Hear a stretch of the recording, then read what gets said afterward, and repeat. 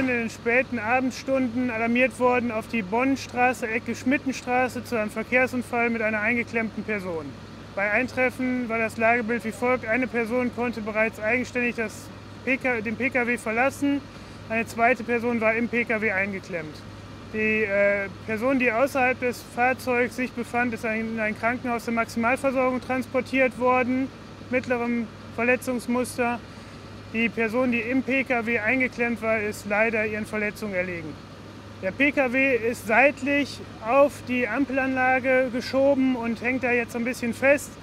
Wir sichern den Pkw jetzt, äh, versuchen diesen von der Laterne ein bisschen frei zu ziehen, ähm, um dann den Rest des Ampelmastens abzusägen und ähm, ihn dann wieder auf alle vier Räder zu stellen, um die verstorbene Person abschließend dann zu bergen.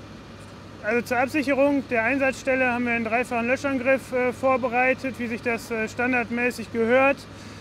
Wir haben äh, des Weiteren die Spannungsversorgung ähm, der Ampelanlage unterbrechen lassen, sodass wir gefahrenfrei unsere Einsatzkräfte am Pkw gleich auch tätig werden können. Also die, wir gucken, dass wir einen Minimalansatz an eingesetzten Einsatzkräften im vorderen Einsatzbereich haben. Und darüber hinaus stehen allen Einsatzkräften ein sogenanntes PSU-Team zur Verfügung, sodass wir Betreuung sichergestellt haben für eigene Einsatzkräfte. Ja, wir sind noch dabei, den Pkw von dem Ampelmast zu befreien, zurückzukippen auf die eigenen vier Räder und die verunfallte Person dann schlussendlich zu bergen. Insgesamt sind wir mit ca. 30 Einsatzkräften hier vor Ort. Im Einsatz befindet sich zum einen die hauptamtliche Wache und der Löschzug Herr Mülheim, des Weiteren der Rettungsdienst der Kommunen Hürth und Brühl und die Polizei ist mit an der Einsatzstelle.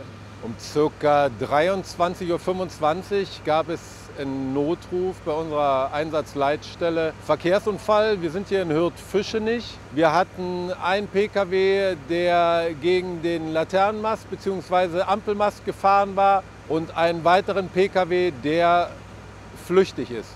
Die Maßnahmen der Polizei sind erstmal natürlich die Verkehrsunfallaufnahme. Dazu sind Kollegen aus Köln hinzugezogen worden, Spezialisten des Verkehrsunfallteams. Weitere Maßnahmen sind Ermittlungen, um herauszufinden, wie der Unfall sich ereignet hat.